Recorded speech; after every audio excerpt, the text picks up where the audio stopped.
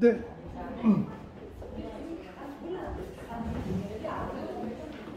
어, 주로 그때까지 그, 뭐, 예방 측면에서 많이 말씀드렸고, 혹시 이제 사람이 발생했을 때, 이렇게 하셔라. 학부하면 119에는 이론적인 얘기가 있는 게 아니고, 제가 학부모님들하고 톡을 주고받았던 거, 그 익명 처리해서 올린 거거든요. 얼마든지 쓰실 수 있는. 어, 요, 요런 상황에서 어떻게 말해야 되지?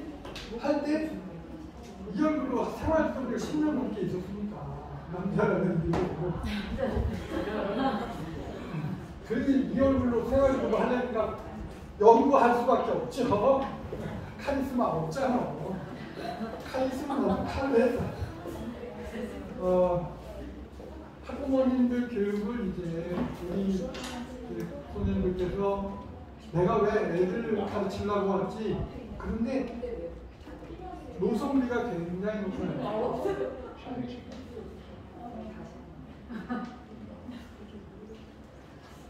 그 노성비가 높아.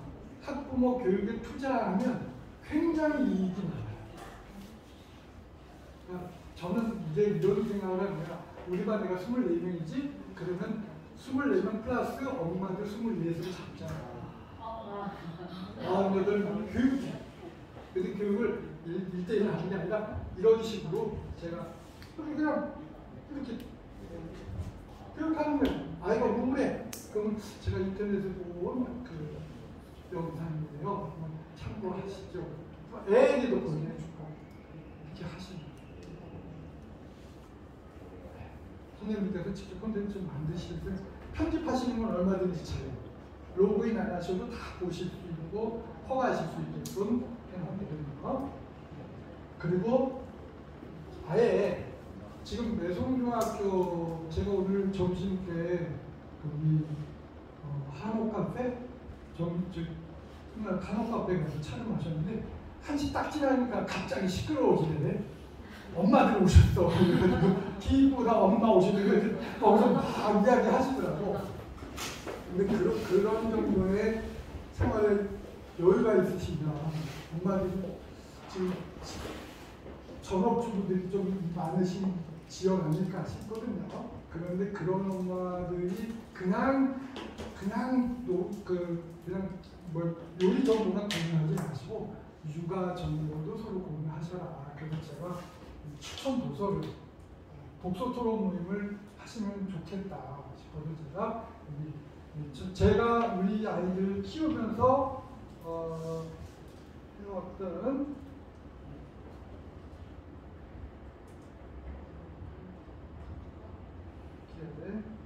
추천 도서를 쭉 학부모님들을 위한 추천 도서가 있어요.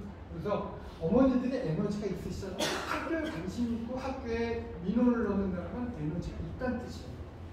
그걸 이제 물꼬를 잘 터뜨리면 학부모의 활성화하고 학부모들 독서 토론 모임 하고 그래서 이렇게 하면 제가 이제 학교 운영위원을 몇 차례 했는데 그때 학교 운영위원 하고 하면서 그분들하고 하고 또 학부모에 지원하는 담당을 맡은 적이 있어요. 마지막 어, 2017년도에 그 역할을 맡았거든요. 그, 그분들을 그 아카데미 비용 100만 원인가 나오는 거로 정말 알토란 같은 강의 이렇게 섭외해서 안내해드리고 말이에요. 그, 그러니까 이분들이 학교에 긍정적인 자원이 역할을 해주더라고요. 독서토론 모임 네, 요거 요별 하트 표시가 있는 건 저희 반 학급 문고예요. 학급 문고 리틀 몬스터 교수가 된 ADHD 소리. 또 우리 반에 한 반에 6 내지 9%가 ADHD면 우리 반에도 두 명 내지 세명 있다. 그 걔한테 쓱 책을 빌려줬다. 그랬더니 그 아이가 다 읽고 나서 우리 쓱쓱 반납하면서 선생님 이 아저씨 저랑 똑같아요.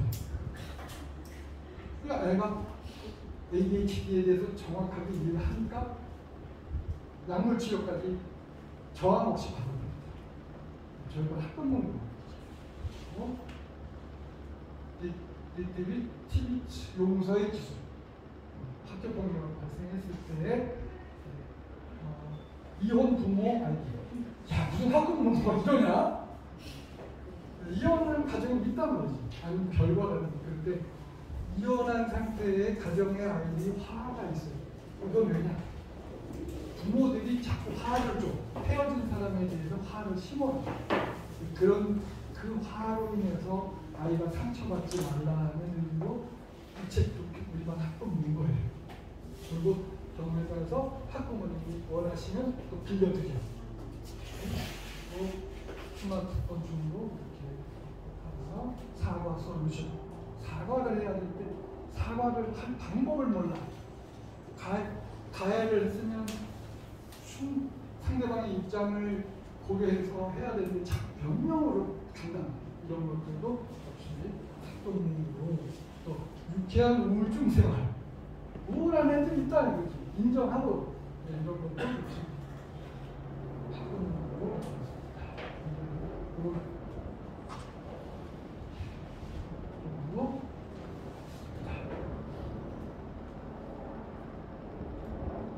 그래서 인간 학부모 보면 이런 것도 있어. 다시 태어나는 중년. 이게 학부모 대여용이에요. 이게 뭐냐면 특히 이제 학부모 총회 때 오시면 학부모 좀 제가 교육을 해요. 학부모 교육을. 왜냐면 교육하면 그 효과가 몇 배인데 세상에 이런 이자만 그 투자가 없어. 네, 제가 어머니들 다시 태어나는 중년 꼭 사보세요. 특히 이런 분 어느 날 남편의 밥 씹는 소리에 소리 착이 차. 그런 경험이 있으셔? 그 어머니도 막 뒤집어져. 다 있었구나. 다시 태어나는 중년 빌려드릴게요. 아니 근데 이거는 소장본이에요. 사서 보시고 주변에 다른 엄마들이랑 보시고 가히 커피만 마시고 술 한번 떨지 말고 이런 거 한 챕터씩 읽고 토론 좀 하셔. 거기도 그래? 응 그래. 남자아이 여자아이 착한 아이의 피. 내 착하게 키우지 마세요. 말대꾸 허락하세요. 말대꾸를 막아버리면 애들이 뒷땅꾼이 되는 이런 거. 결정적이고 폐경기 여성의 몸, 여성의 지혜. 학부모 대여요 이게. 교신이 비타민이라는 존재가 남이 알고 학부모 상담들이 왜 구제를 못 보세요? 뭐라고 돼 있어요?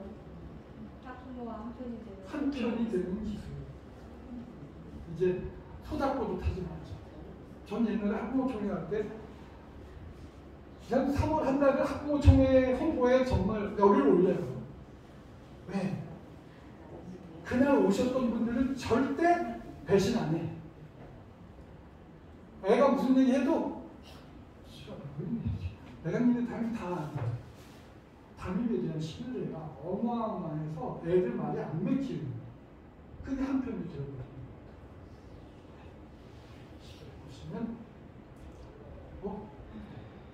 그리고 이런 거 제가 강동에서 학부모 연수를 하면서 쭉 음, Q&A 학부모님들과 주고받는 Q&A 있어요. 이럴 때는 어떡하나요? 애가 외박하고 외박하고 왔어요. 이런 거 가벼운 내용들 쭉 정리를 해봤습니다. 음. 공부 때문에 아이하고 자꾸 싸우게 돼요.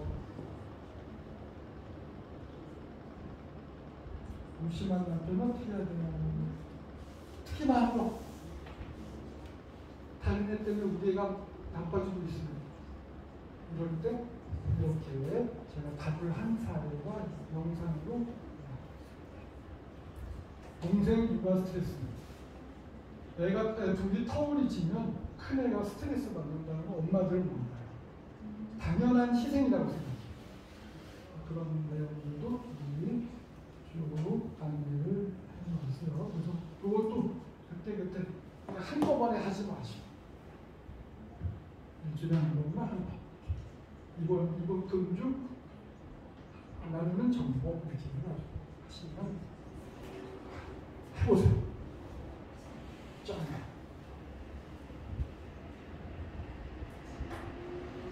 네. 학부모와 불통하면 자 학부모와 소통하는 뭐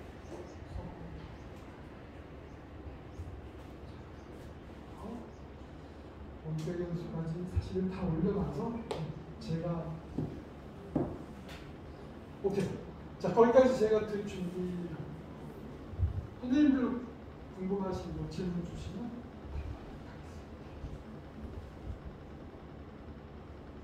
무엇이든 학부모 상담.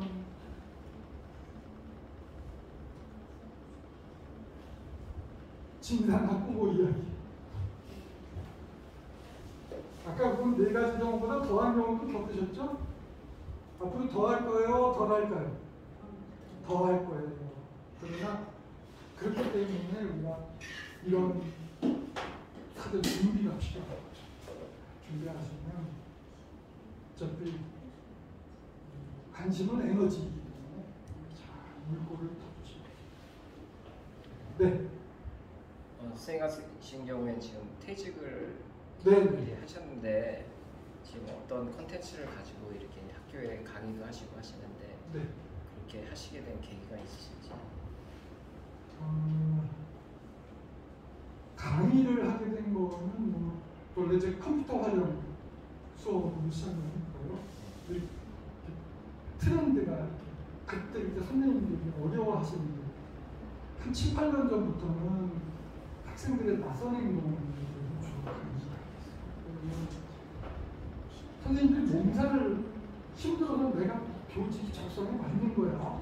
이런 이런 자괴감도 느끼시고 그래서 제가 강의를 그- 좀 필요에 의해서 그래서 그 제가 아 결정적인 계기는 뭐냐면 2010년도에 학폭법 이게 법으로 학교 폭력을 강제해 버리면 그게 미쳐버리는 거예요.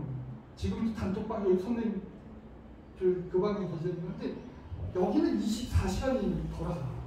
다른 방은 매너 매너 시간이 있어요. 한 10시 반 되면 이제 종례입니다. 이제 편안히 잠시 내려내요. 이러면 다 그런 마다한 메시지가 뜨는데 저 방은 뜰 수가 없어. 24시간 어떤 때는 새벽 2시에 질문이 올라와. 그럼 새벽 5시에 답이 올라와. 그만큼 학교 폭력 때문에 몸살을 하거든. 저런 방이 두 개예요. 근데 그때부터 아 이게 선생님들이 아, 보통 일이 아니야. 근데 그때부터 이제 학교 폭력파 생활지도부장 단톡방을 만들고 그다음에 그 경기도 어, 일정 연수 아니 그 임용 전 직무 연수 그때부터 가서 강의를 하고 그때부터 그냥 선생님하고 그때부터 단톡방 운영이 되죠. 그래서 단톡방에서 저는 예, 지금도 단톡방에 한 200개 정도. 음, 이렇게, 본단 말이지. 아, 지금 한 이슈가 뭐구나. 예, 뭐, 이거가 작년에는 이거. 가피 학생 분리조치. 이게 그냥 난리도 아니에요. 그모 의원이 그걸 입법을 우리 몰랐어 그거 그런 법안이 제정되는지도 그- 그거 돼가지고 지금 아이가 나가지고 그 방에서 의견 모아서 의원실에 전달해가지고 그때부터 이제 예방이 처분한 그래서 이제 강의를 하기 시작했고 실은 지금은 어, 제가 현직에 있을 때 현직에 있으면 올 8월 31일이 제. 그래서 도망간 죄의식을 갖고 8월 31일까지는 한다. 그런 현장에 있다는 마음으로 하려고 하고 있고 이제는 슬슬 깨도 나서 근데 퇴임 후에 일주일에 딱 한 번 하는 게 좋더라고요. 오늘이 그 하루입니다. 네, 질문 네, 또 질문 혹시 저한테 그런 질문 많이 하시더라고. 동생님은 하루 몇 시간을 주무시냐 일을 그렇게 많이 하는데 나이 들면 눈치띄요. 그 저희 집이 올림픽 공원 바로 옆이거든요. 새벽 5시 반쯤에서 일어나가지고 올림픽 공원까지 뛰어갔다 오면 한 50분 정도. 이제 제가 제가 타고난 체질 자체가 이게 뭐 탄, 아무 좀 탄탄한 체질이 아니라서 근데 퇴임하고서 퇴임은 잘 놀아야 된다. 어제 제가 인천에 무의도 갔다 왔어요. 혼자서 전철 타고 멋있더라고. 네. 그래서 조깅을 하고 좀 3년 넘었네요. 3년 넘었는데 조깅하니까 체력이 정말 낙수물 한 나무처럼 이렇게 튼튼해져. 그리고 지금은 뭐 처음에는 300 조깅한 지 기념이 있잖아요. 카톡에 프로필에 뭐 몇, 며칠 만난지 며칠 정도처럼 조깅한 지 며칠 1300일 지나고서는 잊어버렸어. 누가 안, 안 봐도 완전히 습관이 돼. 아니 그 힘든 시절 운동 꼭 하십시오. 오늘부터 하고 누님도 거기도 나랑 비슷한 거야 체질이 조금만 신경 쓰면 제 배탈 나고 우리 탄천을 1만 50 이상 걷는다. 오늘 보니까 탄탄해졌어. 그렇게 선생님도 건강히 수업의 질을 또 좌우하고 제가 노래 부르는 게 이렇습니다. 하루에 0.2% 목표에도 3년이면 100%. 하루 0.1 목표에도 3년이면 0.0 잡아도 30년 30년 정도 120까지 산다는 게 급한 하루 운동하면 며칠 동안 저처럼 행복한 트레이닝으로 생각하시면 지금부터 뭐? 운동하죠. 네, 감사합니다.